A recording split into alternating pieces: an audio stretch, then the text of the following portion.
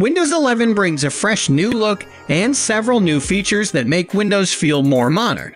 But after upgrading from Windows 10 to Windows 11, people reported that it will impact the speed. Due to bugs and slow SSD performance, people required to downgrade the OS. In this video, we will show you how to downgrade Windows 11 to Windows 10 without losing data.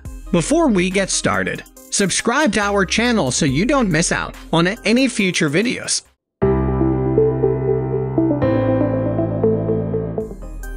If you've upgraded your PC from Windows 10 to Windows 11 at some point in the past 10 days, you have a simplified option for downgrading back to the older version of the operating system.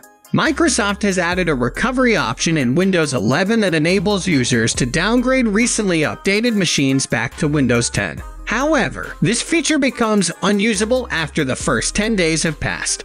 If you're eligible to use this rollback option, simply follow the steps. Step 1. Open Settings app on your Windows 11, go to Windows Update, Advanced Options. Under Recovery Options, click Go Back. Step 2. Now go back to Windows 10 screen should appear. Under Why are you going back? Select a reason and click Next. Step 3 and Next screen. Click on No Thanks. Under What you need to know, make sure you go through this information completely.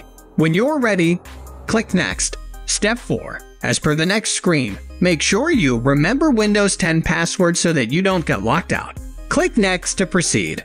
Your system will now restart and you'll see attempting the recover installation. This will take time depending upon your system and data being restored. After this, your system will restart and this time you will see Windows 10 is back as your operating system without losing your data.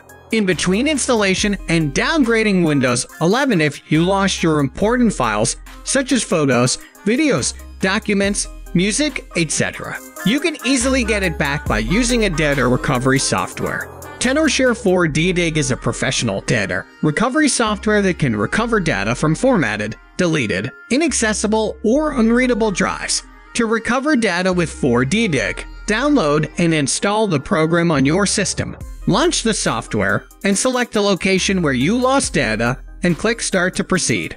Then select the target file type to scan. Now, 4DDiG will start scanning the hard drive to find lost or deleted data. After the scanning, you can choose files to preview and then click Recover to save them to a different partition. This is all about how to downgrade Windows 11 to Windows 10 without losing data. To recover deleted data like photos, videos, documents, music, and more files, we strongly recommend you to try Tenorshare 4DDiG. Subscribe to our channel if you want more useful tips. See you next time.